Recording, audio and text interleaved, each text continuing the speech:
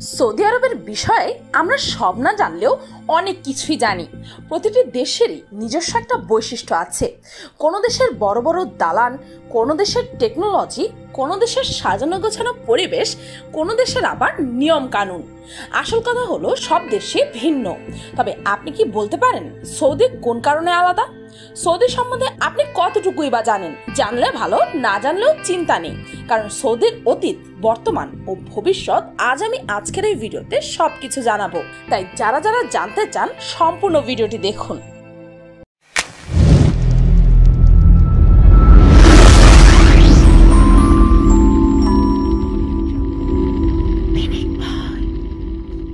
Saudi আরবের আয়তন বাইশ লক্ষ পঞ্চাশ হাজার বর্গ কিলোমিটার পৃথিবীর তেরোতম বৃহত্তম দেশ এটি প্রায় পনেরোটা বাংলাদেশের সমান এই দেশটি, আর লোক সংখ্যা মাত্র তিন কোটি। চলুন ইতিহাসের পেছনে একবার ঘুরে আসি। সৌদি আরবের ইতিহাস যদিও এই অঞ্চলের মানব বসতির ইতিহাস দুই হাজার বছরের পুরনো, তবে রাজ্যের বর্তমানের যেই রূপ তার ভিত্তি স্থাপিত হয় সতেরোশো সালে। এই অঞ্চল বিশ্ব ইতিহাসে দুবার বিশ্বব্যাপী প্রভাব বিস্তার করেছে। সপ্তম শতাব্দীতে মোহাম্মদ সাল্লাহ আলহে ওয়াসাল্লাম এখানে ইসলামের প্রচার করেন এবং এটি খেলাফতের প্রথম কেন্দ্র। বিংশ শতাব্দীর মাঝামাঝিতে বিশাল তেলের মজুদ আবিষ্কার দেশটিকে অর্থনৈতিক ও ভূরাজনৈতিক দিক থেকে গুরুত্বপূর্ণ করে তোলে। অতীতে সৌদি আরবের রাজধানী রিয়াদে অবস্থিত ঘরবাড়ি কনস্ট্রাকশনগুলো ছিল খুবই সাধারণ। ছিল না কোনো বিশ্ববিদ্যালয়, পড়ালেখার জায়গা। সে সময় শুধু কোরআন শিক্ষা গ্রহণ করতে পারত সেখানকার ছেলে মেয়েরা কিন্তু বর্তমানে রিয়াদের দুটি বিশ্ববিদ্যালয় আছে। সিটি কিং সৌদ ও ইমাম মোহাম্মদ বিন সৌদ ইসলামিক বিশ্ববিদ্যালয়। তাছাড়াও আছে সেনা ও নিরাপত্তা মহাবিদ্যালয়। এছাড়াও রিয়াদ শহরে আছে তথ্য ও সাংস্কৃতিক তথ্য এবং সাংস্কৃতিক কেন্দ্র, খেলাধুলার সুযোগ ও স্টেডিয়াম, পাঠাগার কেন্দ্র এবং জনপাঠাগার। প্রায় অর্ধ শতাব্দী ধরে সৌদি আরবের অর্থনীতি তেলে ভাসছে। এখনও পর্যন্ত দেশটির চালিকা শক্তির মূলে আছে তেল রপ্তানি করে পাওয়া অর্থ। রাজতন্ত্রের খরচও মিলছে তা দিয়ে তবে এখন এই কৌশল পরিবর্তন করতে চাইছে সৌদি আরব। কেননা, প্রাকৃতিক সম্পদ একদিন না একদিন ফুরিয়ে আসবে তাই বিকল্প খুঁজতে বেছে নেওয়া হয়েছে বিরান মরুভূমিকে। সৌদি আরব হাজার হাজার বর্গ কিলোমিটার এলাকার মরুভূমিকে নতুন শহরে পরিণত করতে চাইছে। শুধু গত মাসেই নেওয়া হয়েছে এমন দুটি বড় বড় প্রকল্প। এগুলোর একটির আয়তন বেলজিয়ামের চেয়ে অনেক বড় আর অন্যটি প্রায় মস্কোর সমান। মূলত তেলভিত্তিক অর্থনৈতিক ব্যবস্থাকে রূপান্তর, নতুন চাকরির ক্ষেত্র তৈরি ও বিনিয়োগ বাড়াতেই এই উদ্যোগ নেওয়া হয়েছে। এই দুটি প্রকল্পের মাধ্যমে অর্থনৈতিক শহর গড়ে তুলতে চাইছে সৌদি আরব। এগুলোতে একটি জটিল কার্যক্রমের জন্য সমন্বিত সেবা ব্যবস্থা, পর্যটন, শিল্প ও আর্থিক সংস্থান বিষয়ক বিশেষ স্থান, বিনোদন শহর এবং দশ বিলিয়ন ডলারের অর্থনৈতিক শহর গড়ে তোলার পরিকল্পনা চলছে। আবুধাবির বাণিজ্যিক ব্যাংক পিজিএসসির প্রধান অর্থনীতিবিদ মনিকা মালিক বলেন, অর্থনৈতিক শহরের ব্যাপারে সার্বিক উন্নয়নের হার খুবই ধীর গতির। শুধু এখন নয়, তেলের দাম কমে যাওয়ার আগেও এমনটাই ছিল।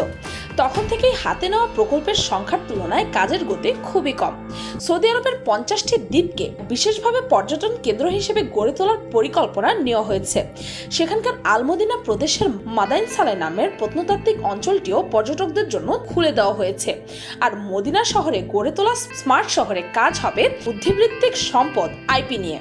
সৌদি আরবের সবচেয়ে উচ্চাকাঙ্ক্ষী কিছু প্রকল্পের মধ্যে লোহিত সাগরও রয়েছে। এর উপকূলীয় এলাকাকে পর্যটনের জন্য বেছে নেওয়া হয়েছে।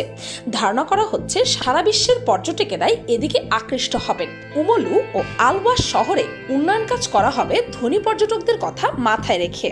দুই হাজার উনিশ সালে এই প্রকল্পটি শুরু হওয়ার কথা। প্রথম পর্বের কাজ শেষ হবে দুই হাজার বাইশ সালে। অবশ্য এই প্রকল্পের প্রকৃত ব্যয় নিয়ে কিছু জানানো হয়নি।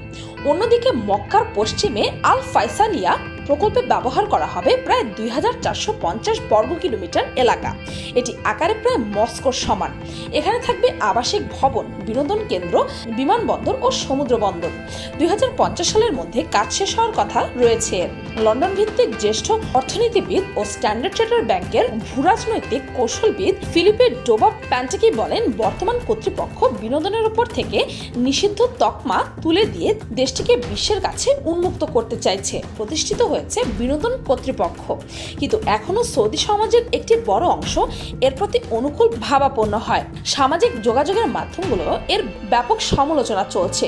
ভবিষ্যতে এই প্রকল্পগুলো বাস্তবায়ন হলে সৌদি পরিবর্তন হবে অনেকটাই। আশা করা যায় খুব শীঘ্রই এসব প্রকল্পগুলো বাস্তবায়ন করা হবে। ইতিমধ্যে কিছু কিছু প্রকল্পের কাজ শুরু হয়ে গেছে পুরো দমে আর এই মেগা প্রজেক্টগুলোর কারণেই সৌদি দিন দিন পরিবর্তন ও আধুনিকতার দিকে ধাবিত হচ্ছে। সৌদিতে মরুভূমিগুলোকে কাজে লাগিয়ে শহর গড়ে তোলার কাজ সম্পন্ন হওয়ার পর এই প্রকল্পটিকে আরও উন্নতি করার লক্ষ্যে তারা বিভিন্ন স্থানে শহর গড়ে তোলার মাধ্যমে জনবল তৈরি করতে যাচ্ছে। মোট কথা হচ্ছে, খুব শীঘ্রই সৌদির একটি অন্য রূপ পৃথিবীর সামনে তুলে ধরা হবে। তা এ থেকেই বোঝা যাচ্ছে ভালোভাবে। পরিশেষে এই বলতে চাই, সব দেশেই তো পরিবর্তন হয়। তবে সৌদি আরবের পরিবর্তন নিয়ে এত সমালোচনা কেন, তাই তো? এর কারণ হচ্ছে সৌদি আরব হচ্ছে এই পৃথিবীর অন্যতম সবচেয়ে ধনী ও প্রভাবশালী দেশগুলোর মধ্যে অন্যতম। তাছাড়াও এই দেশটির ধর্মীয় একটি কাঠামোর জন্য বিশ্ববিখ্যাত। যদিও সৌদির এসব পরিবর্তনগুলো নিয়ে অনেকের মনেই থাকবে পজিটিভ থিঙ্কিং আবার অনেকের কাছে এগুলো লাগবে নেগেটিভ কিন্তু আমি বলতে চাই যে পিনিক পাই ধর্ম ও রাজনীতির নিরপেক্ষ একটি চ্যানেল পিনিক পায়ের কাজ শুধুমাত্র এই বিশ্বের গুরুত্বপূর্ণ ও মজার তথ্যগুলো আপনাদের পর্যন্ত পৌঁছে দেওয়া। বাকিটা বিবেচনা করার ব্যাপারটা সম্পূর্ণই আপনাদের ওপর। কিন্তু পিনিক পায়ের কমেন্ট সেকশনে অথবা কোথাও ধর্ম বা রাজনীতি নিয়ে কোনো প্রশ্ন বা কোনো তর্ক সৃষ্টি করবেন না প্লিজ আমি আবারও বলছি, পিনিক পাই সম্পূর্ণই একটি ধর্ম ও রাজনীতির নিরপেক্ষ চ্যানেল সোদের এসব পরিবর্তন কি ভালো নাকি মন্দ, সে নিয়ে আমি কোনো মতামত দেব না। শুধুমাত্র সত্য তথ্যগুলো আপনাদের সামনে তুলে ধরাই ছিল পিনিক পায়ের কাজ। ভিডিওটি এই পর্যন্ত। কাবাব কাবাব, শিক কাবাব। ফেভারিট খাবারের লিস্টে চিকেন কত আগে থেকেই না জায়গা করে রেখেছে। নাস্তা মজাদার করতে শিক কাবাব তো বেস্ট তাহলে আর দেরি না করে জলদি জলদি রেঁধে ফেলুন মজার মজার গরম গরম শিক কাবাব।